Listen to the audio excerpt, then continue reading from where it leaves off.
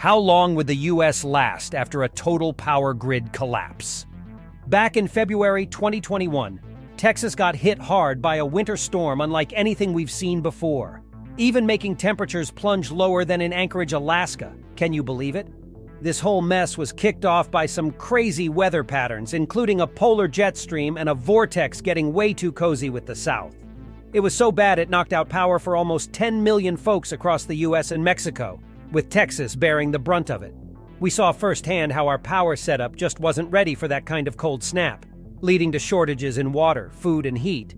And tragically, it cost at least 246 people their lives. Turns out the main culprit was our power plants not being up to snuff for the freezing conditions.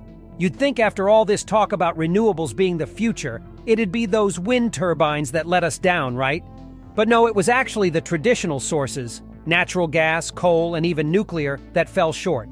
Despite what some folks tried to say at the start, blaming renewables and frozen turbines, it was clear the real issues lay with the natural gas plants and others freezing up and running out of fuel. We were this close to a complete grid meltdown because the demand was just too much for the supply to handle. So the Texas legislature finally stepped in, telling the electricity regulators to get those power plants ready for whatever Mother Nature throws at us next. Though, for some reason, the natural gas folks got a bit of a pass from the Texas Railroad Commission. The hope is to fix these gaps so we don't find ourselves in the dark again. This whole ordeal really shone a light on just how fragile our power grid is and how the systems overseeing it need a serious overhaul. Take ERCOT, for example. They're supposed to be in charge of the Texas grid, but don't have much in the way of oversight.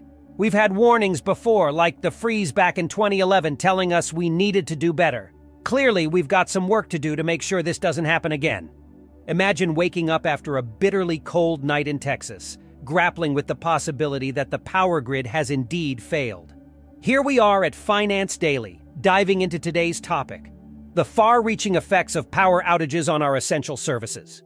It's not uncommon to be jolted awake by various disturbances the sudden bang of a truck misfiring in the distance, the cries of a newborn, or the clatter of a cat causing mischief.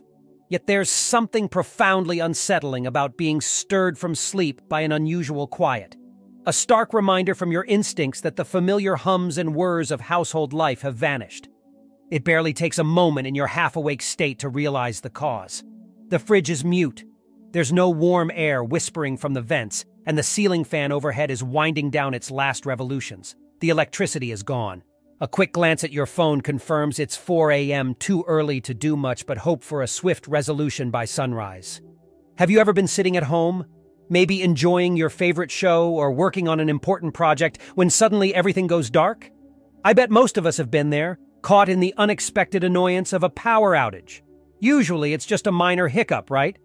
These outages tend to be short lived, often just a matter of minutes or a few hours, and typically they hit just a small area. Ever wonder why that is? Well, it turns out our power grid, or what the experts call a wide area interconnection, is built with some pretty smart design features. It's fascinating, actually. The system has built in redundancies and alternative routes to ensure electricity gets to where it needs to go, even if one path is blocked. Plus, with power users and producers scattered across the map, the risk of a widespread impact from a single event is minimized. Sounds pretty robust, doesn't it? But here's the kicker. The very thing that makes our power system resilient, this interconnectedness, is also its Achilles heel. Imagine if something major goes wrong, it's not just a neighborhood or two in the dark. We're all in this together. And let me tell you, the reasons for these wide-scale outages can vary wildly. Remember the chaos in Texas?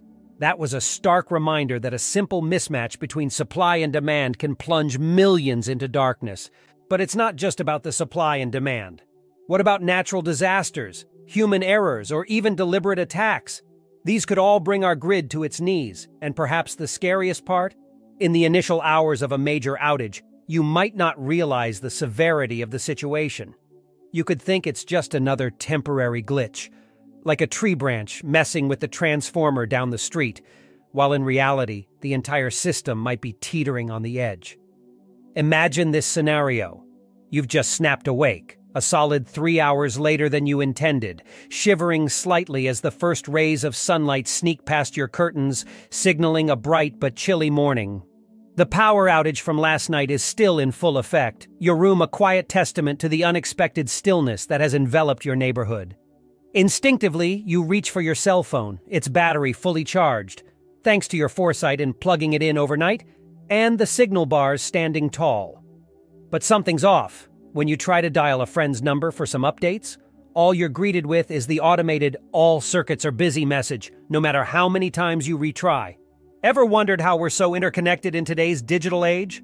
From texts to tweets, video calls to voice notes, we rely on an intricate web of technology that sprawls across the globe, all of which is powered by the grid. Let's break it down. Our lifeline, the internet, travels through fiber networks which hinge on countless switches and optical terminals. Then there's cable TV and DSL networks, each node powering the connections of 500 to 1,000 customers, all craving juice from the grid. And let's not forget about cellular networks, those unseen signals bouncing off base stations mounted high above us on towers and rooftops. Here's a number that might surprise you. During a blackout, telecommunication facilities, those silent sentinels of our digital lives, can keep humming along for four to eight hours, thanks to backup batteries. And for the truly critical spots like cellular base stations and data centers, there are on-site generators ready to take over, boasting enough fuel to push that 24 to 48 hours further into the dark. But what happens when everyone, and I mean everyone, picks up their phone in a crisis, desperately trying to connect? The system gets overwhelmed. Despite the technology and backup plans, the sheer volume of calls can clog the network, making it tough for your average Joe to get a call out. Did you know that in such scenarios, the U.S. federal government steps in, working hand in hand with telecommunications providers to ensure that essential communications for emergency services, disaster relief, you name it, have a clear path through the digital congestion? That's right, there's even a special program for it the Telecommunications Service Priority Program, designed to keep critical calls jumping to the front of the line. So, why can't you get through to your friend? Simply put, your call like many others, is playing second fiddle to the more critical communications flying through the airwaves. After a couple of hours, suddenly, an emergency alert flashes across your screen. It's not just any alert, but a serious warning about a power grid failure, urging you to brace yourself for an extended outage. This isn't just a minor inconvenience, it's a stark wake-up call to the reality we're facing. In today's world, where nearly everyone has a smartphone glued to their hand, Wireless emergency alerts have revolutionized the way we receive critical information. They're a key component of the Emergency Alert System, EAS, a sophisticated network that links various government levels to TV, radio, satellite, and telephone companies, ensuring that public warnings and alerts reach every corner of the nation. Uh, but have you ever thought about what happens when the lights go out and we're plunged into darkness? During a blackout, our usual social media updates take on a whole new level of importance. It's no longer about garnering likes or shares, it's about keeping our communities safe, connecting individuals to vital resources, and preserving the social fabric that holds us together. The two-way communication tools we rely on daily, like cell phones and the internet, may quickly become unreliable in a grid outage. That's where one-way networks such as radio and television broadcasts step into the limelight. These are not just relics of the past, but lifelines in times of crisis. With their extensive backup fuel reserves and emergency provisions for staff, these facilities are designed to operate for weeks on end, ensuring that crucial information continues to flow even when everything else stops. But let's get real for a moment. How prepared are we truly for such scenarios? Statistics show that a staggering 90% of Americans own a cell phone, yet only a fraction have access to or regularly use a battery-powered radio. In an era where digital has become the norm, it's easy to overlook the value of these traditional channels. Yet, in emergencies, they become our most reliable sources of information. In just a matter of days, our lives can pivot dramatically based on the whims of our circumstances. This notion hits home especially hard when we consider the ramifications of a power outage extending beyond a mere couple of days. Such disruptions can gravely impact those among us who rely on critical, electricity-dependent medical aids, such as life-sustaining ventilators or dialysis machines, or even something as seemingly simple as medication that must be kept refrigerated. For a portion of the population, a blackout lasting a day or two might present an unexpected break from the monotony of daily routines, offering a chance to engage in more traditional forms of entertainment like candlelit dinners or stargazing, activities that remind us of a simpler time. However, the charm quickly fades as we enter the critical 48-hour mark. The scarcity of supplies becomes palpable, urging a reconsideration of our immediate needs and survival strategies. One of the most fundamental of these needs is access to water, a necessity that is surprisingly reliant on electricity. Cities employ vast amounts of energy to ensure the public has access to clean, potable water. This involves not just the pumping, but also the treatment and purification processes, all of which are electricity dependent. Consider Texas, for example, where regulations stipulate that large urban centers must maintain a minimum of 200 gallons, approximately 750 liters, of water per system connection, with at least half of this volume stored in elevated tanks to ensure gravity can do the work should the pumps fail. This mandate is designed to safeguard against the immediate impacts of power outages, ensuring that water continues to flow to all residents for about two days under typical usage conditions. Yet when we factor in the reserves powered by backup generators, some cities might stretch their water supply to last three, four days without electricity.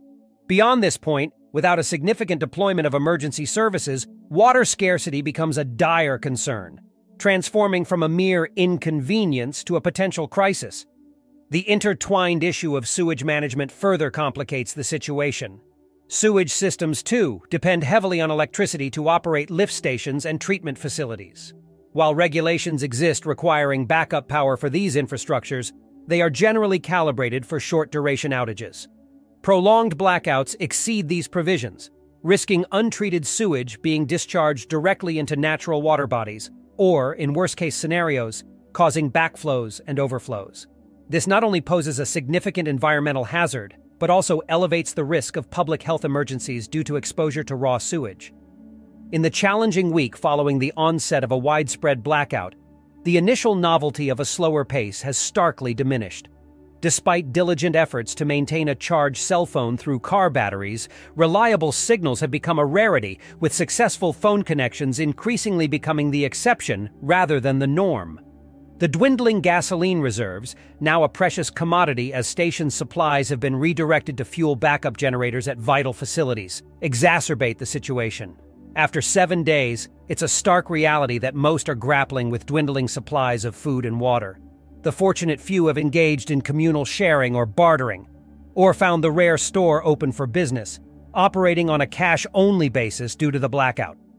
The resilience of essential services is now solely buoyed by backup power systems at priority establishments such as hospitals and radio stations, or those equipped with renewable energy sources like solar or wind power. This crisis underscores the intricate interdependence of our infrastructure networks, revealing a paradox. The restoration of power is most hindered by the absence of power itself. The repercussions are far-reaching. Power plants struggle to procure fuel without the operational backbone of electricity-dependent data centers, telecommunications, banks, and energy markets. The absence of power halts natural gas compressors and disrupts railway systems, leaving coal supplies for power generation stagnant. Traffic congestion spirals as non-functional signals lead to increased accidents and reduced throughput at intersections, further complicating the mobility of essential workers who are critical to the recovery effort. Moreover, the complexity of our infrastructure systems, heavily reliant on SCADA, supervisory control and data acquisition, technologies for automated operations, presents another layer of challenge. These systems, which include oil and gas pipelines, public water systems, and electrical grids, necessitate power to function. In the absence of automation, even if personnel can reach critical control points, the lack of operational knowledge under manual conditions poses significant hurdles. As the blackout prolongs, the depletion of water, fuel, food, medicine, and other essential supplies accelerates, leading to the breakdown of more systems. The task of reactivating each infrastructure component, already a formidable challenge in isolation, becomes nearly insurmountable without the support and synergy of adjacent systems. Entering the second week of the blackout, the situation becomes increasingly dire, with the thin veneer of societal normalcy beginning to crack under the strain of sustained infrastructure failure. The absence of electricity has set off a cascading effect on critical services and supplies, revealing vulnerabilities in our societal fabric that few had anticipated or prepared for. By now, food scarcity becomes a palpable reality. Supermarkets, already running on severely depleted stocks, are unable to receive new deliveries as logistic networks remain paralyzed. The reliance on just-in-time delivery systems means that there is little to no buffer of food supplies and storage, leading to empty shelves and increasing desperation among the population. Local farms and community gardens, where they exist, become vital sources of fresh produce, though they are hardly sufficient to meet the needs of the broader population. Water supply issues escalate dramatically. Without power to operate pumps and treatment facilities, the availability of clean drinking water diminishes rapidly. Bottled water stocks are exhausted, and public health risks increase as people turn to untreated sources. The situation underscores the critical interdependency between power and water services, with the lack of one severely impacting the other. Healthcare services are pushed to their limits. Hospitals that have been relying on backup generators face the grim reality of fuel shortages, impacting their ability to provide care. Critical patients dependent on power for life-sustaining equipment are at grave risk. The healthcare crisis is compounded by a surge in illnesses related to poor sanitation, contaminated water, and deteriorating living conditions. Public order becomes increasingly difficult to maintain, as resources dwindle, instances of looting and civil unrest rise, with law enforcement stretched thin and facing similar logistical challenges as the rest of the population. Community solidarity is tested as desperation grows. The prolonged power outage highlights the complexity of restarting the grid. Power plants, disconnected for safety during the initial stages of the blackout, require external power sources to restart, a process known as black start. However, the widespread nature of the blackout means that finding a nearby operational power source is challenging. Additionally, the grid must be carefully balanced to match supply with demand as it comes back online, a task made more difficult by the lack of communication and coordination capabilities. Economically, the impact is severe. Small businesses unable to operate due to the lack of power and reduced consumer spending face permanent closure leading to job losses and further economic decline. Electricity transcends the realm of luxury. It's the backbone of our modern existence. This isn't merely about our personal use. From the moment we wake, our lives intertwine with systems and conveniences powered by electricity, shaping the orderly flow of our society. The reality is stark. The absence of a functional electrical grid spells chaos, albeit not immediately. My own experience during the Texas winter storm, where power was a distant dream for three days, taught me this. It wasn't just about enduring the dark and cold, it was witnessing the resilience and unity of communities. Neighbors extended hands of generosity, embodying the spirit of cooperation. Yet this ordeal wasn't without its scars. While some, like myself, emerged relatively unscathed, others bore the brunt of the hardship. Statistics underscore the criticality of electricity. For instance, the Department of Energy reports that the average American household consumes approximately 10,715 kilowatt hours annually. This figure reflects not just comfort, but survival, powering essential services that sustain life. Despite the infrequency of widespread blackouts, the threat looms large, spurred by natural disasters and extreme weather events. Historical data reveal that between 2000 and 2020, the United States experienced over 1,300 significant power outages, affecting millions and underscoring the fragility of our infrastructure. The role of government in ensuring preparedness cannot be overstated. In the United States, we take pride in our robust disaster response mechanisms. Federal agencies, notably FEMA, offer a blueprint for resilience, emphasizing the importance of readiness. FEMA's guidelines, accessible to all citizens, advocate for a proactive stance towards disaster preparedness, advising on essential supplies and strategies to mitigate the impact of long-duration outages. Thank you for watching. Stay safe until next time.